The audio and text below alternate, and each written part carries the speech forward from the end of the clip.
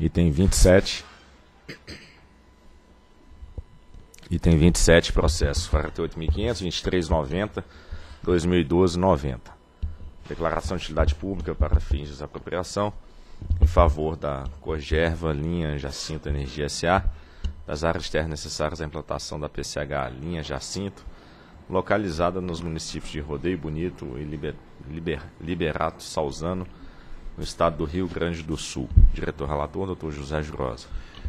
Senhores diretores, é, esse caso, é, como, como nós tivemos um, uma semana um pouco atípica, né, é, que nós deveríamos disponibilizar os processos de, de bloco e a, é, na quarta-feira e pela norma que eu acho que nós devemos dar uma é, ela necessita que sejam quatro dias úteis ela ficar disponibilizada e não deu tempo, então não teve bloco. Então é, eu, eu vou passar direto a leitura apenas do dispositivo da, do, do voto e, e, eu acho que nós deveríamos é, propor à SGE uma, uma, uma, uma reanálise. Esse, como, como são processos que ficam, votos, tudo ficam na internet, não há necessidade de ser quatro dias úteis.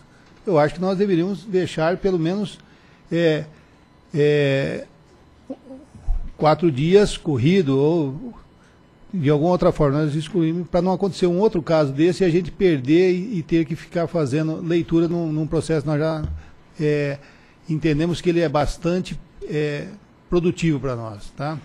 Então, nesse caso eu vou ler. Pelo, pelo exposto, considerando o que consta do processo, voto pela emissão de resolução autorizativa na forma de minuto anexo que visa emitir a DUP para fim de desapropriação em favor da empresa Corgerva, linha Jacinto Energia, para as áreas com superfície total de 138,34 e 14 centiares de propriedade particulares distribuídos no município de Rodeio Bonito, Liberato, Salzano e Novo Tiradentes, no estado do Rio Grande do Sul, destinado à implantação da PCH linha Jacinto. É o voto.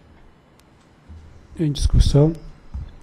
Em votação. Eu voto com o relator. Também acompanho o relator.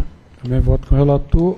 Proclamo que a editoria decidiu pela emissão da DUP para fins de desapropriação em favor da empresa Cogerva, linha Jacinto Energia SA, para as áreas com superfície total de 138,3 hectares de propriedade particulares, distribuídas nos municípios aí mencionados, para implantação da PCH linha Jacinto. Próximo item. Item 28.